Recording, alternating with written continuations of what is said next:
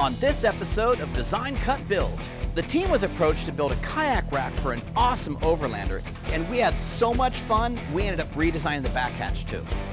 Let's get ready to design, cut, and build.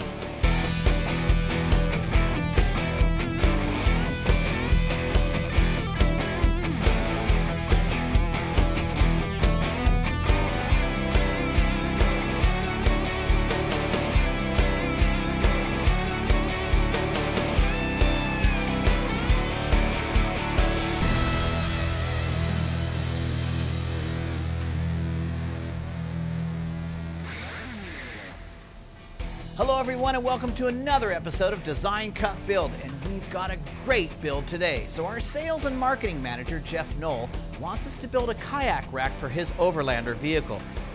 I want to be able to slide the kayaks in here because this is getting a rooftop tent. This slides, so it needs to be able to oh, slide under the rack. And that's the idea, of the principle there. Simple enough, right? Jeff had brought us a beautiful prototype drawing. All we had to do was build it. But Iggy and I are ambitious dudes, and when we saw the condition of the back hatch, we had to do something about it. This is definitely It's, it's all busted up. busted up. No security left. Plus, this is a point of leverage for him to push, so maybe we can beef it up too. We can probably put some sort of, uh, you know, gusseting in here to kind of make it a little bit more robust. Maybe eighth inch, maybe they tack weld it on there after that. I can, I can right. do on this while you guys are working on that uh, kayak rack, no problem. Cool. Thanks, my man. All right. All right, let's do it. There you go. Not one, but two projects. The second one's a surprise. Plus, we get to work on one of those awesome overland vehicles. I love my job.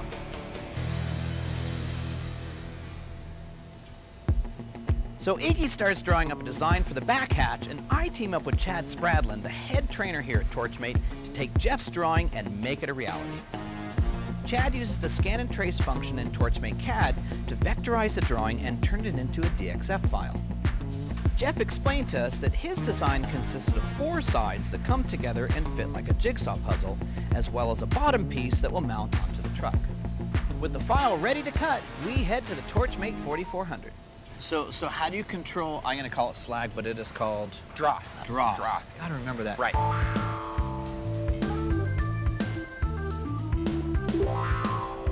Most of the time, dross is because of feed rate and settings. So our AVHC settings, which is the pierce height, cut height, pierce delay, and then our feed rate, which is the speed that the torch travels, that is going to directly contribute to more or less dross. Now my goal is, is to hopefully set this thing up to have very little to no dross because my manicured nails can't handle picking that off. You and me both. So Understood.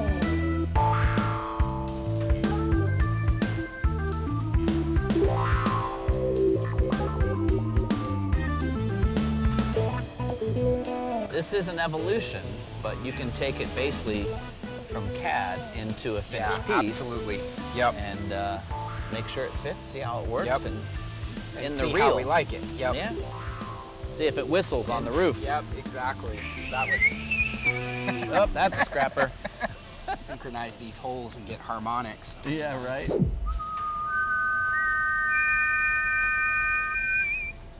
Ladies and gentlemen, the Torchmate Philharmonic. So with the pieces clamped, it's time to tack weld them together, but right off the bat, I start to notice a few problems. So this material is pretty thin, and it's pulling, when you weld, it's gonna pull in a certain direction. Not only that, I can't get into the bottom to weld the bottom. Let me go take this back to the CAD and see if we can make some of those alterations Great. and changes, and then we'll cut another one and see how. Oh yeah, that's ugly. All right. yeah, definitely. Mind if I tag along on this one? Yeah, absolutely. Yeah, I let's go wanna, I wanna learn out. more CAD. Cool. Wow, that was fast. That looks great. So what I did was is I added a couple tabs at the bottom of the side plates, and then since these parts are symmetrical, I decided to add more tabs to the top and the bottom. offset. Yep, Yeah, correct. Gotcha. And so now when the thing is being tack welded, it's actually forcing against itself, and then it's not going to spread apart. And then also I added that extra opening for the tip to come in and be able to weld the bottom. Man, that guy is so smart. Honestly, folks, it's not that hard. All right, back on the 4400? Yep, back on the 44. So All there right. we go. Oh, great, the truck's Whoa, here. Sweet. Nice. Hold that thing in. That's gonna be easy.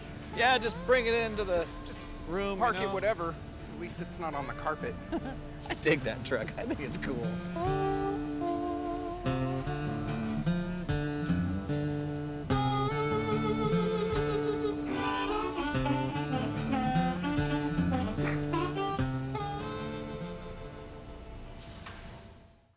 Okay, ready? Mm-hmm. Best cat drawing wins. Go.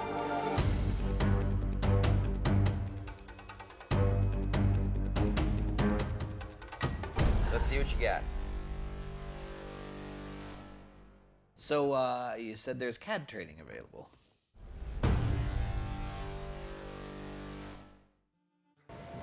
That's pretty flat. Yeah, that looks pretty good. And we got some mounties, eh? We cut the other three mounts, welded them up, and sent them to paint. By this time, Iggy is back and starts taking off the old hatch.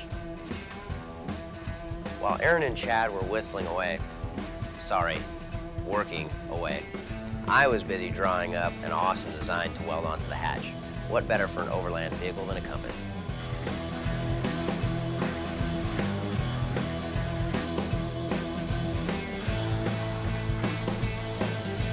So, Iggy, I don't want to distract you too much, but uh, I assume that you're marking the parts that we're going to bend?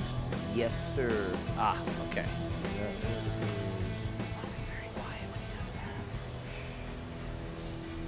Yeah, I don't think that looks too bad. It was here we came up with a pretty neat idea. Jeff's son, Cody, is quite the talented welder, and we thought it'd be really fun to get him involved in the project. My name is Cody Knoll.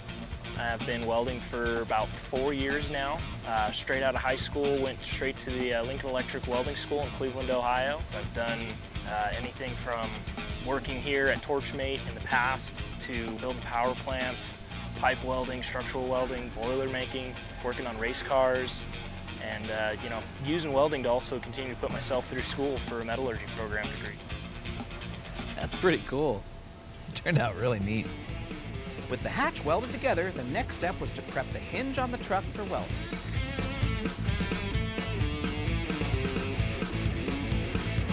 Perfect. That gives us an eighth of an inch. Woohoo! I love it when a plan starts to work out.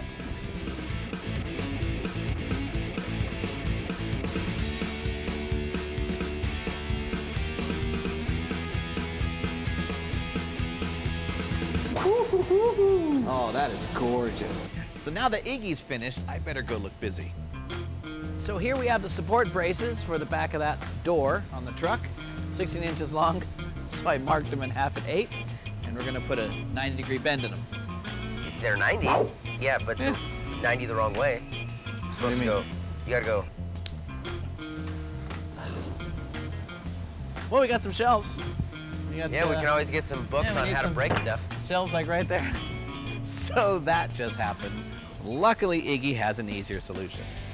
So, since this is stiff enough, we are going to build those little brackets, except for instead of being 16 inches long, we'll just make them two inches. We'll make them two inches. So the easiest way to explain how I fabricated up this uh, locking pin system was I started off with the handle itself. I did this twice, and we had an eighth inch plate with one hole. The eighth inch plate with the hole then bolted to the handle twist part itself, and I was able to then weld that eighth inch plate to a 3 8 plate that I just cut at 3 8 by 3 8 and then on the end of that, I welded a 3 8 bar. And that 3 8 bar round stock was able to then slip through uh, the locking mechanism on the truck itself, and then I welded another plate here to keep it in line of the actual truck. That way, when we twisted and opened it, it opened and closed in the same exact spot. Our new hatch is complete. And nice timing, the kayak rack mounts are back from paint, so let's put them on. I did not know you were there. Hello, Mr. Cyclops. All right, Jeff, so here we are. We got your uh, rack mounts. Look at that. Yeah, they look great. It looks like you had to change up the design a Yeah, little we, bit. t- we had to take a few tries at it here. Uh, for stability, we added more notches here, and uh, then we cut this little, I'm calling it the Black Widow spot, out here so we can get access to weld, because they were Ah. starting to rattle a little bit. I didn't consider getting in there to weld it. Right? Oh, look at that. It's great. Iggy did a really nice design. We didn't know if you know you wanted to paint it or, you know, it's kind of cool. I'm a metal guy. I like leaving stuff raw, but you know, that's up to you. And we brought in your son to come in here and uh, TIG weld for us. Oh, that's great. He's really good and a nice kid. So, Well, he ought to be good. He went to a great school. yeah, that's right, the Lincoln School. Yeah. Excellent. Thank you. All right, guys, another one in the can. We designed it, we cut it, we built it. We'll see you next time. Thanks for watching Design Cut Build. If you like what you've seen, please subscribe. Leave a nice comment, give us a thumbs up, and be sure to tell a friend. And if you have an idea that you'd like to share, please visit fabricationforum.com and leave it there. See you next time. to learn more about Lincoln Electric's line of plasma cutting tables, please visit torchmate.com.